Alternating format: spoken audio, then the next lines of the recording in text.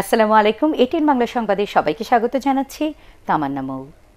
দেশে করোনা ভাইরাসে নতুন করে একজন আক্রান্ত হয়েছেন। এ নিয়ে মোট আক্রান্তের সংখ্যা বেড়ে দাঁড়াল উনপঞ্চাশ জনে আর সুস্থ হয়েছেন চারজন। এর মধ্যে একজন চিকিৎসক ও এক নার্স রয়েছেন। দুপুরে মহাখালী থেকে রোগতত্ত্ব, রোগ নিয়ন্ত্রণ ও গবেষণা ইনস্টিটিউট আইইডিসিআর এর পরিচালক মির্জাদি সাবরিনা ফ্লোরা অনলাইন ব্রিফিংয়ে এসব তথ্য জানান।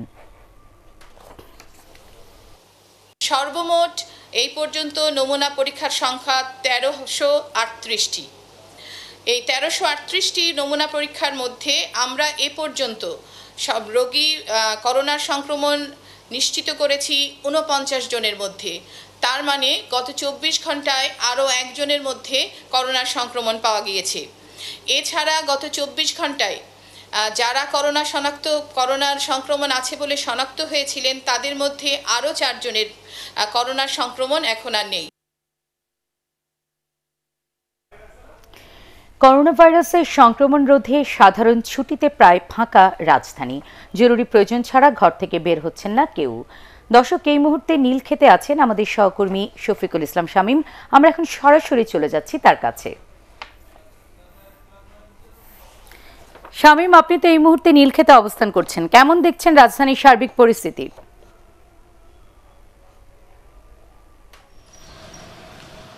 আসলে কিন্তু আমরা সকাল থেকেই লক্ষ্য করেছি যে বরাবরের মতো যে সাধারণ ছুটির শুরু হওয়ার পর থেকেই যেভাবে রাজধানী ফাঁকা, আজকেও কিন্তু তেমনটি কিন্তু আজকে অন্য দিনের তুলনায় একটু লোকজনের চলাচল রাস্তা আমরা বেশি লক্ষ্য করেছি। তবে আইনশৃঙ্খলা রক্ষাকারী বাহিনী এক্ষেত্রে তৎপর রয়েছেন। যারা অযথায় রাস্তায় নেমেছেন, তাদেরকে কিন্তু আইনশৃঙ্খলা রক্ষাকারী বাহিনীর সদস্যরা বুঝিয়ে তাদেরকে ঘরে ফিরিয়ে দিচ্ছেন। জরুরি প্রয়োজন ছাড়া, অর্থাৎ ওষুধ বা যে নিত্য প্রয়োজনীয় দ্রব্য কেনার তাগিদে যারা বাইরে এসছেন, তাদেরকে শুধু কোনো জিজ্ঞাসাবাদ ছাড়াই কিন্তু ছেড়ে দেওয়া হচ্ছে। এছাড়া যারা অপ্রয়োজনীয়ভাবে ঘোরাফেরা করছিলেন, তাদেরকে কিন্তু নানা রকম প্রশ্নের সম্মুখীন হতে হচ্ছে বিভিন্ন মোড়ে মোড়ে। আমরা কিছুক্ষণ আগেও সেনাবাহিনীর সদস্যদের লক্ষ্য করেছি যে পুরান ঢাকার বিভিন্ন মোড়ে তারা অবস্থান নিয়েছেন এবং তারা কিন্তু সাধারণ মানুষকে জিজ্ঞাসাবাদ করছেন যে তারা আসলে কেন এই বাইরে অযথা চলাচল করছেন। এছাড়া কিন্তু পুলিশের সদস্যরা তারা তাদের তৎপরতা চালাচ্ছেন এবং তাদের যে টহল ব্যবস্থা সেটি কিন্তু বরাবরের মতোই জোরদার রয়েছে এবং তারা আসলে চাচ্ছেন যে মানুষকে বুঝিয়ে তাদেরকে ঘরে রাখতে এবং তাদেরকে কোনো রকম এখন পর্যন্ত কিন্তু প্রসার প্রয়োগ করছেন না, তাদের কিন্তু কিন্তু প্রেশার ছাড়াই কিন্তু তাদেরকে মূলত বুঝিয়ে তাদেরকে ঘরে ফেরানোর চেষ্টা করছেন। আরেকটি বিষয় হচ্ছে যে,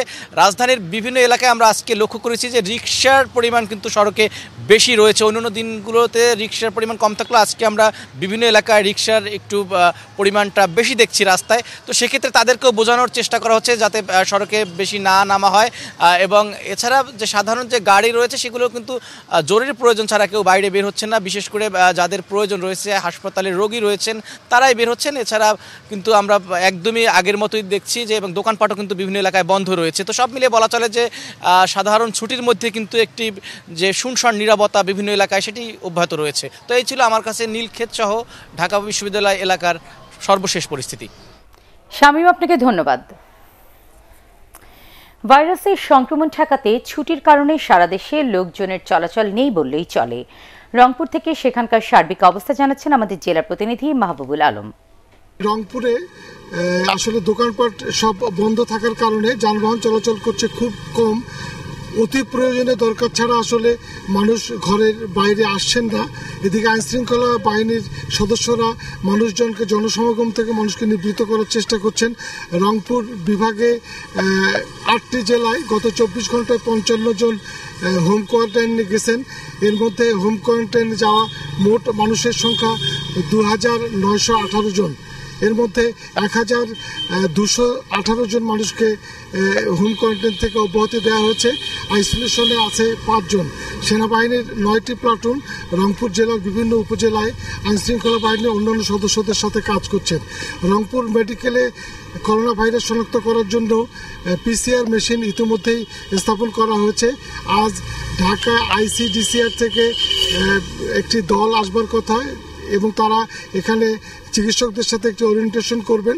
ওরিয়েন্টেশন করবার পরে আগামী পয়লা এপ্রিল থেকে এই পিসিআর মেশিনটি কাজ শুরু করবে বলে আশা করা হচ্ছে। পরবর্তী সংবাদ দেখার আমন্ত্রণ জানিয়ে এখনকার মতো শেষ করছি। দর্শক এটিএন বাংলা সংবাদ ইউটিউবে দেখতে ব্রাউজ করুন YouTube slash ATN Bangla news আল্লাহ হাফেজ।